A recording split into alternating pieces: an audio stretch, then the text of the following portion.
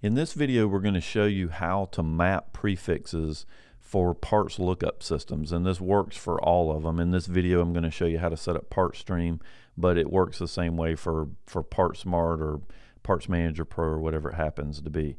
So the first thing I want to show you is that in PartStream, when we go in and actually try to look up a part or we try to add it to a pick list, we actually get an error message here that tells us that the vendor code for HOM is not mapped. So what Lizzy is telling you is that she doesn't know who HOM is.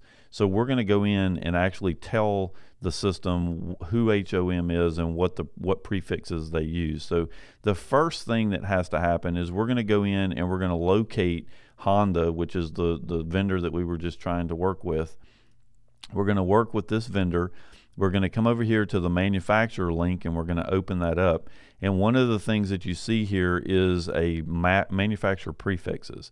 Now, this is not where we're going to put in HOM. All we're doing here is we're trying to identify for the system who this particular contact record goes to. So, for example, here is Honda Power Equipment.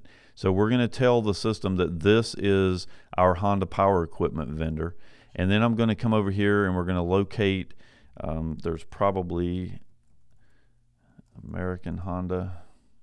So here is the Power Sports division of them. So we're going to come over to this record and we're going to tell it that this particular record matches the Honda Power Sports. So we're going to come down here and find Honda and we're going to go to Honda motorcycles.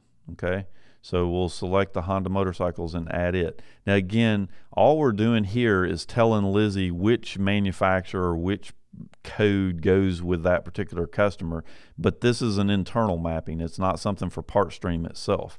So the next thing that we need to do is actually map who that manufacturer is. So now we're going to go over here to settings, inventory, and we're going to map prefixes.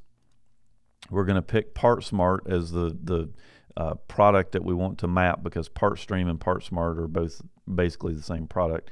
We're going to come in here and we're going to pick that same prefix that we picked a moment ago. So we're going to come down here and we're going to find Honda motorcycle and we're going to put in HOM, which was the prefix that we actually saw when we were looking for that particular product.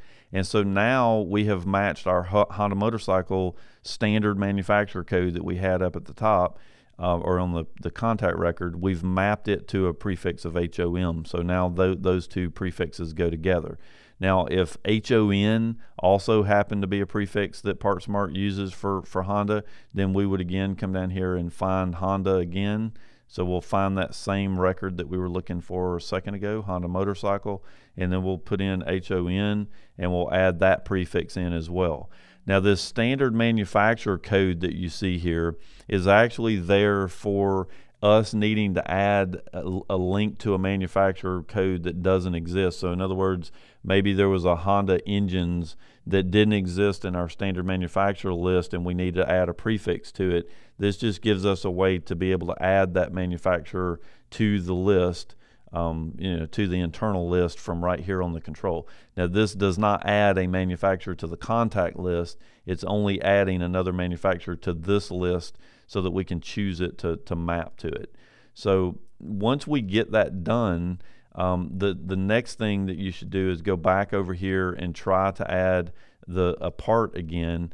And if it adds it up here to the top of your pick list, then Lizzy has properly mapped everything and can find the part number and knows what vendor it goes to. So step one is to map the customer record, the business record, to who they are, and then you go to that to settings and map all of the prefixes that go to that standard manufacturer code. All of the ones that go to it are mapped over in settings for the PartStream interface.